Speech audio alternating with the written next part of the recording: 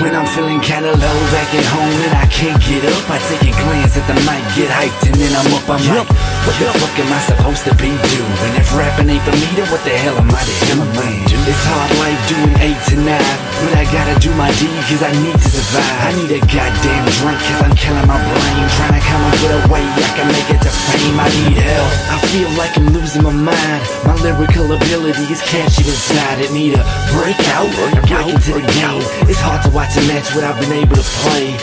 I wanna play, Lord, lead me the way And I will make them see they play it should be dropped for a game Instead of living it, I get the notepad